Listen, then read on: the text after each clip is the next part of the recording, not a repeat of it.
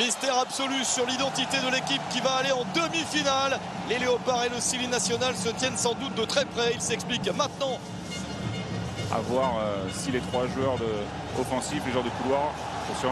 Ah, c'est un premier ballon pour la Guinée dans la surface. Du bout du pied. Oh, ça va passer à côté. Premier ballon chaud après 47 secondes. Morgan Guilavogui dans la surface. Le latéral, le joueur de couloir, Attention Oh là, ils se sont regardés La mésentente terrible, on ne s'attendait pas à ça. Il y en a un seul, un seul joueur accru. Voici encore Agibou Kamara. Ah, ça enchaîne en une touche, c'est bien. Pour donner sur le côté, le centre Et la reprise de la tête au premier poteau. Pas encore d'opportunité pour Mohamed Bayo, penalty Oh le penalty sifflé par Mustapha Gorbal. Mohamed Bayo était là au premier poteau, il n'a pas pu. Au départ, c'est une super action avec cette passe de Guilavogui. La reprise en une touche.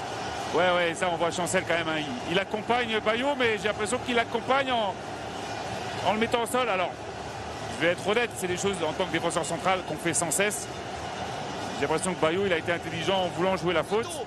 Dans ce quart de finale, Mohamed Bayo pour le 1-0 de la Guinée. C'est parfaitement exécuté. Le Sili National est devant. Évidemment, Bemba et Nokinonga sont là. Deux très bons joueurs de tête. Arthur Maswaku pour essayer de donner un bon ballon au deuxième poteau. Oh l'angle est fermé Et pourtant, le tir est victorieux. L'incroyable but de Chancel.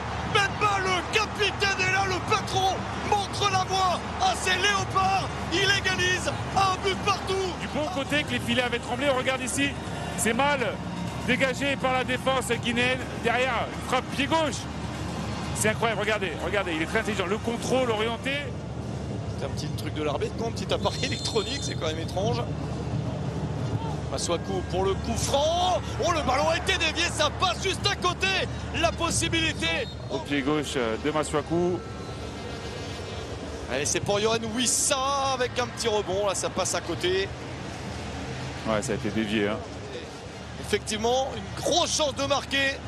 Vient de s'échapper pour le Sili. La réponse des Léopards. Ça part en contre. L'accélération. C'est passé dans la surface. Attention à ce contact. Et le pénalty. Le pénalty pour la République démocratique du Congo sur ce contre-express. L'arbitre. Je l'espère pas décisif pour lui. Départ, c'est Nabi Keita qui se jette, il y a de l'espace. C'est pas forcément dans les qualités de, de Touré hein, d'aller euh, courir avec Silas. Et là, Janvier, il doit absolument pas faire ça. C'est terrible, c'est terrible pour. Touche euh, le pied, il touche le pied de Silas, c'est indiscutable. C'est indiscutable et c'est terrible pour les, les Guinéens qui ont une occasion énorme juste avant. Et c'est terrible aussi pour Conté parce que c'est lui qui loupe l'action et c'est aussi lui qui se fait intercepter sur cette contre-attaque. Une, une occasion d'un côté et ça se transforme en un penalty de l'autre. C'est, c'est toujours terrible, mais c'est l'histoire de ces rencontres. Johan Wissa pour s'élancer, pour marquer. Le gardien est parti du bon côté, mais Ibrahim Koné n'a pas réussi à sauver. Le coup franc pour Agibou Kamara. Avec beaucoup de maillots blancs. Oh, attention à ces reprises de la tête. euh, et ils, se sont interposés, les Congolais. Lionel Passy, les défenseurs, sont un peu, un peu perdus. C'est vrai qu'il est un petit peu partout, il fait un peu de tout.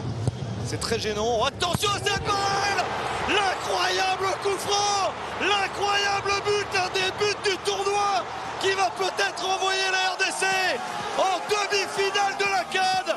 L'incroyable geste du pied gauche d'un leader, d'un joueur fidèle. Arthur Maswaku est toujours présent dans cette sélection. Il a largement influé. Avec son pied gauche, mais regardez en plus, euh, j'ai- vraiment l'impression que c'est euh, totalement volontaire. Mais regardez la trajectoire, la qualité du pied. euh, Il, caresse euh, ce ballon et le pauvre connaît qui ne peut que constater les dégâts. Quelle trajectoire, quel but de Maswaku. Personne ne s'attendait à un truc pareil. S'il y a un but sur le corner, ça reste possible. Le corner d'Agibou Kamara. Avec une tête, ça passe à côté. Encore une petite chance. Une petite possibilité de marquer encore pour la Guinée. Oh, c'est mal donné, ils n'y sont plus. Et on les comprend. C'est terminé. La RDC réalise une performance mémorable en gagnant 3 buts à 1 contre la Guinée. Le Sili national s'est bien battu mais était un petit peu court ce soir. Bravo le Sili pour un parcours formidable. Mais ça doit s'arrêter là. Blessé était un